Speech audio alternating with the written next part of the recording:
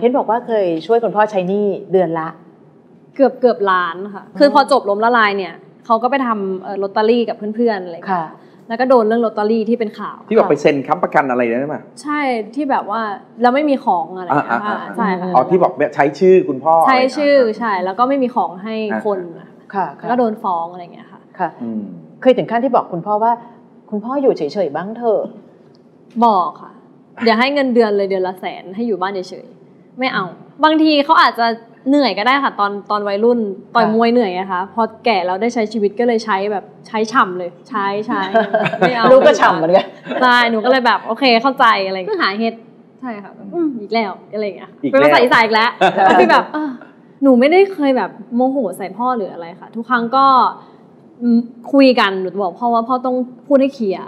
อืมพ่อจะมาโกหก ไม่ได้แล้วนะ หรือจะไม่มาไม่เป็นไรไม่ได้ต้องพูดให้ชัดว่าตัวเองไปอืมสร้างวีรกรรมอะไรบ้างขอความจริงอะไรเงี้ยอีกหนึ่งระลอกก็คือเรื่องที่คุณพ่อโดนเด็กค่ะอ่าอายุ10สิบ17เจ็ดค่ะค่ะนะครับออกมาตามที่เป็นข่าวแล้วก็ใช่เรียกว่ามีการฟ้องร้องดำเนินคดีกันเกิดขึ้น อันนี้เรารู้ล่วงหน้าไหมรู้ตอนที่จะเป็นก่อนเป็นข่าว เพราะรู้ว่าก่อนเป็นข่าวถูกไหมใช่ค่ะ เพราะว่าเขาโทรมาบอกว่าเดี๋ยวจะมีข่าวนะ เพราะว่า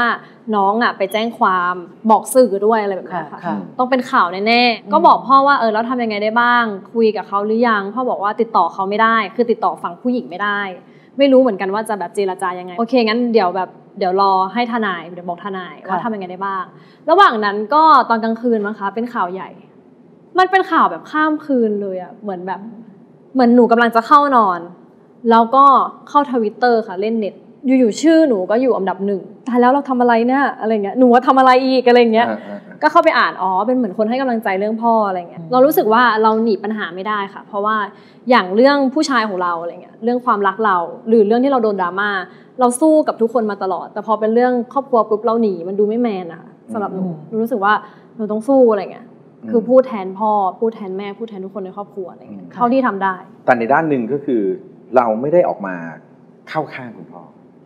หนูไม่เข้าข้างตั้งแต่นาทีแรกที่โทรมาบอกแล้วค่ะอืมเพราะว่าหนูรู้สึกว่าคือเขาทำตัวเองของแบบนี้คือตบมือข้างเดียวไม่ดังอะไรอย่างเงี้ยค่ะเราคุยกันก่อนไหมว่า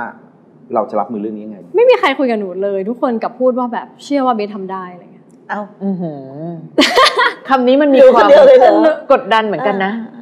หนูรู้สึกว่ามันไม่ใช่ความกดดันแต่หนูเข้าใจค่ะ เพราะว่า พ่อกับแม่ก็อาจจะไตร่ตรองคำพูดได้ไม่เท่ากับหนูในจุดนั้นนะค่ะค่ะเพราะว่าหนูรู้สึกว่า